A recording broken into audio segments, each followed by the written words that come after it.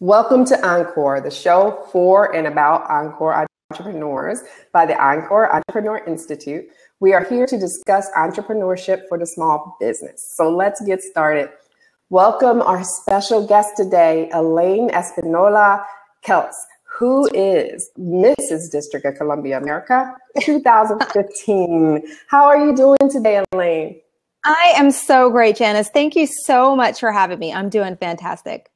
Well, I'm so glad you are here. We are going to be talking today about women in entrepreneurship, very close to my heart, as I am an entrepreneurial woman.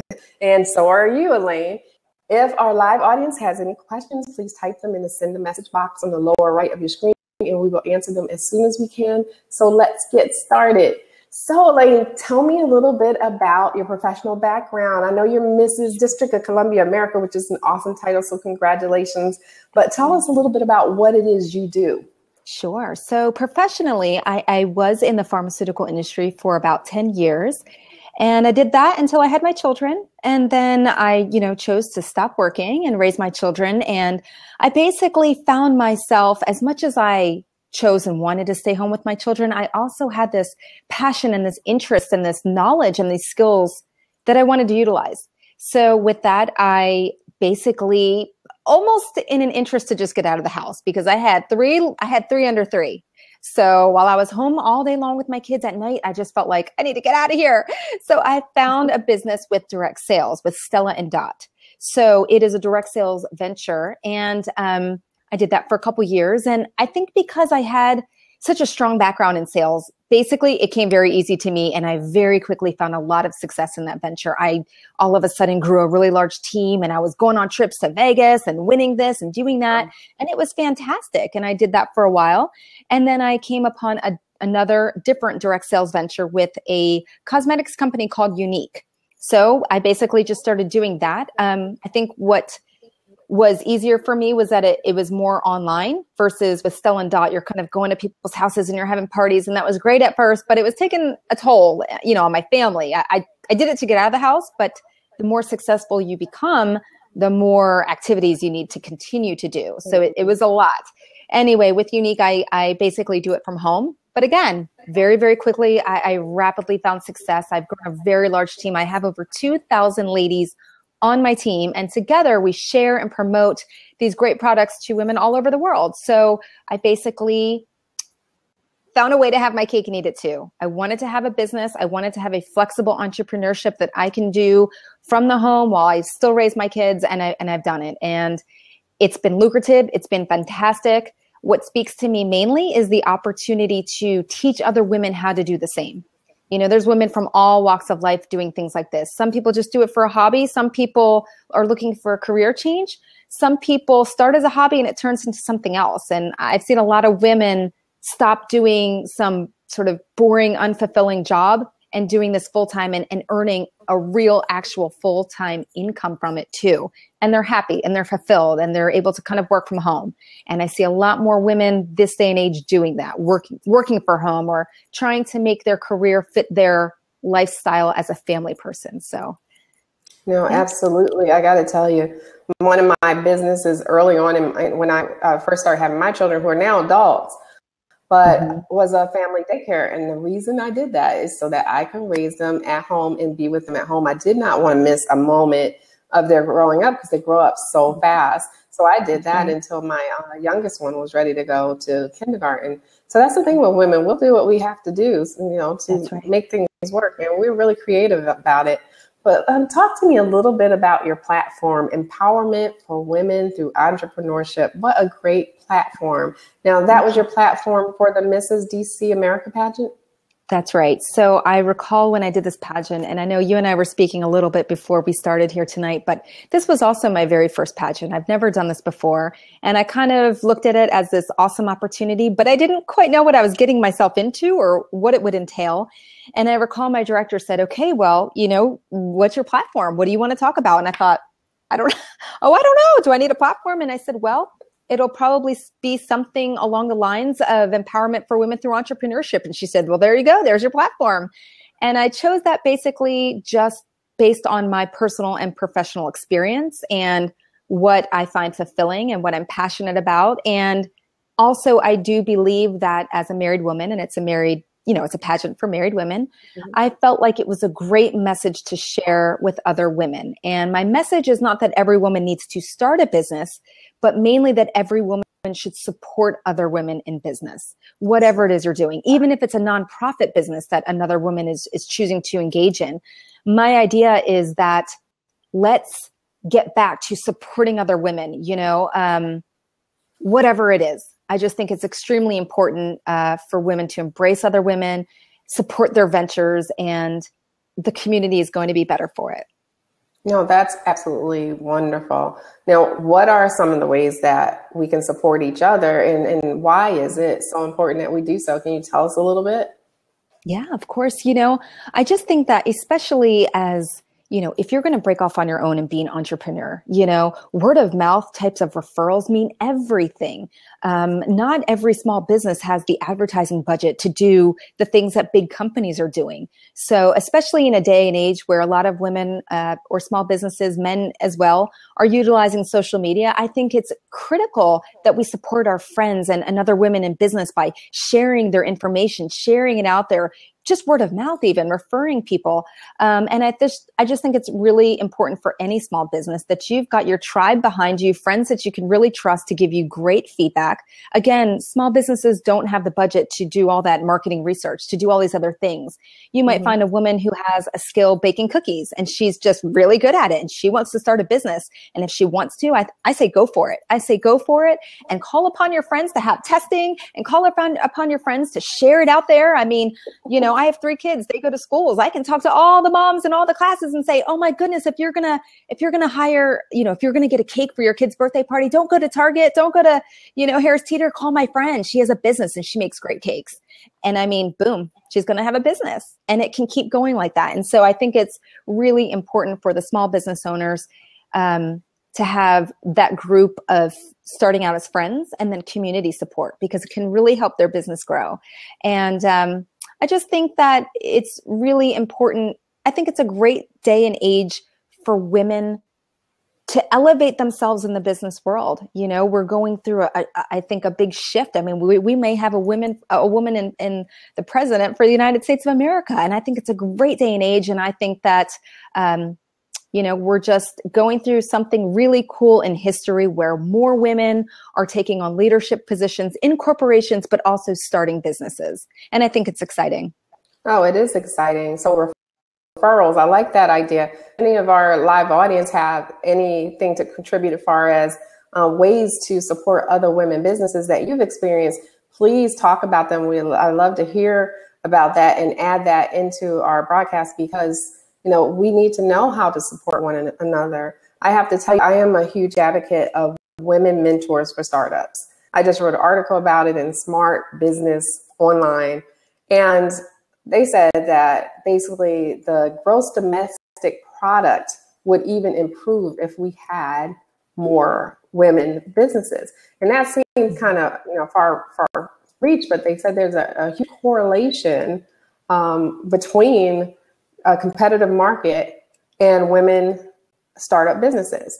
So mm-hmm. down to that, even down to uh, making the pay gap go away so that we don't mm-hmm. have men making more money than a woman in the same position because if we have more women owned businesses of course we're setting that salary level and we're making sure mm-hmm. that it is balanced and even for both sexes mm-hmm. so mm-hmm. more women owning businesses is a very good thing. And I'm, so if I can help do that, I want to do that. Now, are there any other ways that we can support each other that you can think of besides, um, and we have, we know we need referrals because that's awesome. And mm-hmm. I, I got to tell you, in our, we have a small group meets every month of entrepreneurs, women and men. And I tell them it's mm-hmm. so much easier to be successful if we help one another. But so oh, I, I, love that idea. I love that idea. Mm-hmm. So is there anything else that you, you, you can think of that we can do to support one another? Mm-hmm. Sure. Well, you know, in the area where I live, and I live in Northern Virginia in Loudoun County, and there are so many smart, interested women in this community. I'm so proud to be here. And there are so many networking groups, and I go to a lot of them. I mean, there are these happy hour networking groups, and these women organize them and there might be tables of women who have their businesses and they're just sharing their information. They're basically you know selling to each other. They're promoting to each other and it's really really positive and it's really successful. Um, i mean these are continuing you know continual month after month after month. I mean even i started to wonder like wow is this ever gonna kind of like die off? But but no. I mean women you know realtors whether they have a jewelry business whether they're in the mortgage industry whatever they're doing all of these women are getting together and networking, and that's really important. So if you have a business, if you have a talent, and you go ahead and, and use your skills and talents to start a business and you're starting it online, I think it's very important for you as the business person to get out there and network. Um, get your card in people's hands, talk about your business. And that's one way. And then, you know, on as the receiver, when you meet a person and they give you your card, you know, do unto others as as you would like done to yourself. So take a look at their card like their facebook page. You know social media is everything. And if you're liking their page and you're like and they're liking yours you're just opening up both of your networks to each other and to each other's networks. And that's how things grow. My business with Younique is all online and it has it is so successful janice. And it's because of all the online business networking. It's because people share my posts. That's it. That's that simple. But if they weren't sharing my posts you know, my business may not go anywhere, but I also reciprocate. I go to their pages and and it's genuine. I'm doing it because I'm interested. I'm doing it because what I think that they're offering has value and I'm sharing it to other people and I think of them when I see someone post a question and say, "Hey, does anybody know, you know, a great realtor?" I'll think about some lady I just met at a networking group, you know, and I'll say, "Hey, I just met someone, here's her information." And I'm supporting her. I'm in referring her. I'm putting it on social media, which opens up her name. And I think I know in my area, it happens a lot. It's very frequent. It's a really synergistic, awesome thing that's happening. And I think a lot of women in my area are seeing a lot of success and growth in their businesses from it. So I think that's just another tip that people, you know, hopefully will continue to do all over. All right. No, that's absolutely right. I always say share the love, especially on social media. There's no better way to show that you support someone than either retweeting or sharing a post. You know, liking is nice. Yeah. You yeah. hit the little heart, you hit the like button. But if you reshare something, mm-hmm. um, retweet it or share it, that mm-hmm. really means a lot. And I absolutely on Twitter, I will follow anyone who retweets anything that I put out mm-hmm. because that means a lot to me. Mm-hmm. So if I see that mm-hmm. you did that, you know, I'm definitely going to see that I'm following you shortly after. Don't have a problem with that at all.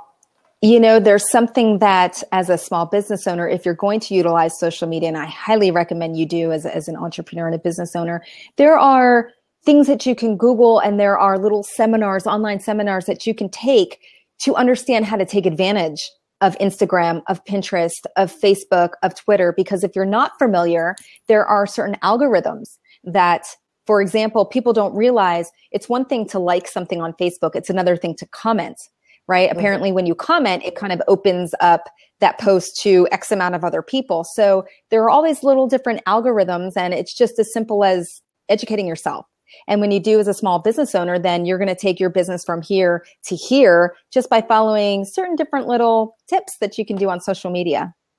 No, that's a good point. And Facebook is being uh, really tight with sharing your post from a business page now. So they, because they want you to pay to promote it.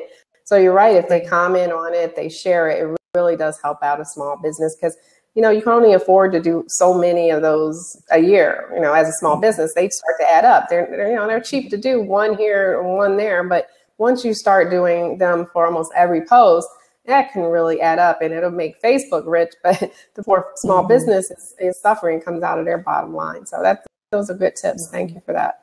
Now, what things have you been able to do to support your platform this year? Because it's such a great platform. Yeah, well, thank you so much. So, you know, this year has been incredible and I've been able to do things like I've been asked to speak a lot and I love that. I, I love that opportunity. So I've spoken with different women's groups, different youth groups. I've spoken at different high schools about both entrepreneurship and things that people can do, business networking.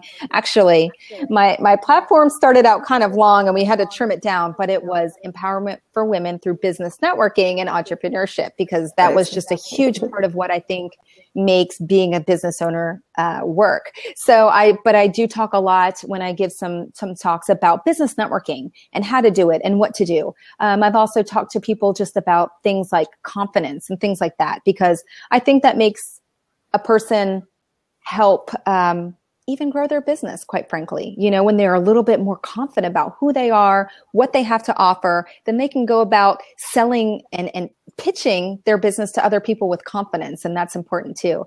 Um, I've also um, attended a lot of launches for friends in the area or people who have asked for me to attend their launches. And, you know, anytime you have someone saying, absolutely, I'd be happy to support your, your new business open. Let me go. Let me invite my network. So I've done a lot of that this year. Um, specifically, I'm always happy to do it for, for small business women owners. So I've been doing that a lot this year. Oh, that sounds great. Now, do you have a favorite uh, event or appearance that stands out uh, as something that was amazing for you or amazing yeah. experience? Can you talk to us a little bit about that? Sure. So again, in the area where I live, there's um, there are plenty of networking events that I have gone to. Um, one of one is called the Real Housewives of Northern Virginia, and they host a monthly event every year where they have tables. And I've gone, I've worn the sash and and all of that, and I've kind of met with all the business owners, and I'm just talking with them about their businesses and just getting to know them and and trying to again help refer and promote and get to know people. Uh, there's another one called the High Heeled Happy Hour, which is here in Northern Virginia. What I like about this one is that it is attached to a charity. So it's really fun because the whole idea is that you're going to wear your best high heels and they give mm-hmm. out prizes for the best high heels. So it's fun, but there's also right. a nonprofit beneficiary. And, and I love that. Um, I'm actually hosting one, the uh, High Heeled Happy Hour in April. And as the host, I get to choose the nonprofit beneficiary of my choice. And I have chosen Northern Virginia Human Trafficking Initiative. And so a portion of the proceeds from this event will go to um, that nonprofit. So I love that because it's just a great way for women to get together, you know, get out of the house, network for business purposes, but also give back to a charity. And I love that. So I've been doing that a lot this year as well. What a fantastic idea. I don't know who came up with that name, but that yeah. is I can see how that can catch on really fast. That's going to be very oh, successful. I yeah. love it. I love it. It is. And it's, okay. also, it's so much fun. I mean, you're getting dressed up, you're wearing your beautiful yes. heels, you know, and then it's all for fun and philanthropy and for business. It's great. Yeah, that sounds great. I can, like I said, I can see it catching on. So that's pretty, pretty cool. What message would you share with any woman looking to recharge, refocus, or re-enter the working world? Because you said it's not mm-hmm. always, you know, you want them to support working uh, entrepreneurial women, but you're also mm-hmm. talking about working women here too that can be part mm-hmm. of, of this whole platform. So how would you uh, advise women who are looking to do that, recharge, refocus, and, and re-enter the working world, especially if they're becoming a new mom? Mm-hmm. Yeah. I would say one of the biggest things is to just put yourself out there. I know that, um, you know, I've gone through different phases of my life where I was a corporate working, uh, working woman, and then I was a mom, and then I was a stay at home mom, and then I found myself re entering the, the workforce in a different way.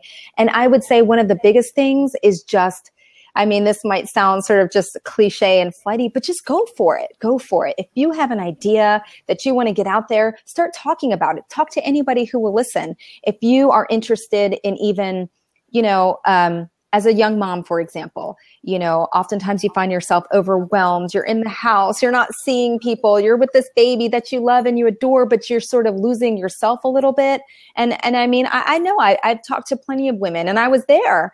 And I think one of the biggest things is to um, maintain connections with people get out there, join moms groups. You know, those are where some of the biggest ideas come. You're sitting around with other moms going, well, gosh, wouldn't, wouldn't it be great if you had this kind of creation for a child and boom, you've got an idea and you've got a bunch of women who are, who are there talking about it as well with you. So I really think it's all about the connections getting involved, recharging, refocusing by, you know, just getting feedback from anybody at all that will listen. Your husband, your friends, um, go to seminars if you're interested. Just get involved. You know, I, I think we all have different personalities. I tend to be, you know, a go-getter. I'm, I'm, I'm out there. I'm not afraid to just reach out. I'll go to a seminar all by myself. It's not a big deal. I like it. Not everybody's like that. Um, but I think if you have that interest, you know, if you find yourself thinking, I want to change directions in my career, or I want to take my career to the next level, or, you know, I really just wish I had some, some, um, you know, friends that I could talk to about this kind of stuff. You have to get out of your comfort zone and, and make that effort. So it's just about finding friends, finding people, like-minded people, and making those connections. Oh yeah, and you never know what connections might happen. I talked to one entrepreneur, and while on vacation at the pool swim up bar, she met another woman, and mm-hmm. they start talking about their kids and how they wish they had like a, a travel kit with mm-hmm. just activities for the kids to do, like they could just purchase and they decided to do it themselves and make these travel kits and these little backpacks that mm-hmm. they could mm-hmm. just you, know, just buy with different themes in them. And so if you're you're going on vacation, you can surprise your kid with these new backpacks that they've never mm-hmm. seen before, with a bunch of activities from coloring to games, everything to keep them busy, and they're all different themes. So they decided to do it, and they just met each other. You I never know. You never know. And I love that. If you can think it, you can create it. And where there's a will, there is a way. You may not have the funding right away. You may not have all the ideas in place. But if you just have this creative idea and you share it with another person, that's what I mean. You just create this connection and you never know what can happen. Great things can happen. Oh, Yeah. All right. Exactly. Exactly. I know for me, I get my best ideas when I'm at the gym alone by myself on elliptical. People see me. I'm using my cell phone trying to write it down so I don't forget it. Yeah. And I probably think I'm texting them, and I'm like, idea number one, you know. So, yeah. you know, just yeah. get yourself out there, meet with people. If you can get alone time, I think that's a great idea too, because that's when I know I think my best. If you're always around the kids and then you're at work or you're working on your business constantly, you got to free your mind to let those mm-hmm. ideas flow. So, Absolutely. you know, I, it, meeting with other people definitely helps that as well. I think it, it helps to nurture it. Mm-hmm. So, and you know what? Um, here's just one more thing. I have a really great girlfriend of mine, and you know, I'm doing my thing. She's doing her thing. She started a business, and um, we started out as mommy friends when neither of us were doing either of this. We were just mommy friends on the playground, and here we are, five years later, doing our separate things. And every time we get together, I say, Kim, I thought of this idea for you. You should totally do this with your business. And she'll say, I thought of some things for you, or I met someone and I brought your name up. And we decided, my girlfriend and I, we're going to meet once a week and we're See just going to be each other's sounding boards. We're going to be each other's kind of mentors. I mean, some people pay for that kind of consultation, but guess what? Yes. She's a bright woman. I'm a bright woman. I've got creative ideas and so does she. And we're going to, we're going to do that together. And so we've decided we're going to do that on a weekly basis. And it just helps get those creative ideas going. And it helps kind of, you know, bounce ideas off of each other. No, you are each other's mastermind group. Basically, you're you're each other's board of advisors. So that's perfect. I highly recommend doing that. And you know, because you, she'll think of things that you'll never think of, or it might take you a while to think of because you're busy, and she'll and you'll do the same thing for her. So if you can have that type of relationship, or mm-hmm. or even create it, because I tell people if there's Meetup.com, you can create it if you don't know of anyone. So yeah, master little you have your little mastermind group. I just love that idea. So I'm glad that you have that that, that's definitely helpful. And it shows, um, statistics show that, that having that kind of support, which they call mastermind support, basically gives you more of an opportunity to be successful. So you will actually experience more success with that kind of support than without it. So awesome. Mm-hmm. Congratulations on that. That's going to be very, very good for your business. Now, do you have any advice for women who are maybe working full time now and might want to start a business, but they might be hesitant because of family obligations or financing. Um, what motivation sure. and advice could you give to her? You know, for a woman who's currently in the corporate world and and she might be in that because maybe she needs that income, maybe she enjoys that career, maybe maybe that's just the path that she has been on, but if she's considering maybe changing and starting a business, you know, I I would just recommend well, you know, I think it depends on the woman. You know, I think how far she is in that process of wanting to start a business and if she has the means to do it. She's either mm-hmm. going to go big and if she's not in the, that opportunity, I say maybe start small. Um, you know, I, am a big fan of the direct sales industry. And the reason for that is um, I believe it is is still an entrepreneurship. You know, you're not working for that company; you work for yourself. I don't owe anybody anything, and I can stop whenever I want, and I can do as much as I want. What I like about it is that, you know, it allows someone the opportunity to start a business without all of the overhead. You know, it's a direct sales venture and you might pay into it, but you're not paying for the distribution. You're not paying for the products. You're not paying for the research and the, development. It's all there. And if you can find something that you're passionate in that you can share, then you can grow a business without having to do all of that administrative stuff on the back end. And then you can learn a lot from the process. You can network and you can grow, you know, your base of people who trust you and believe in you. And then when and if you find yourself in the right time and the right opportunity to break off then on your own, you will have learned a great deal from that experience. You will have net- networked yourself a lot. Um, so I, I, think that might be a great place for someone to start who is currently working corporately and interested in doing something out there. Are so many businesses out there that you can partake in. I mean, the difference is it's not something you've created on your own, but at least it's it's a start to get yourself started. Um, I always say there's such little risk and such huge reward. I mean, you know, you can start a business online, pay yourself back, and after that, it's just all commission. And when you are ready to stop, stop. You know, if it grows into something humongous, then that's great too. So um, that's one place that someone can start. No, that's excellent advice.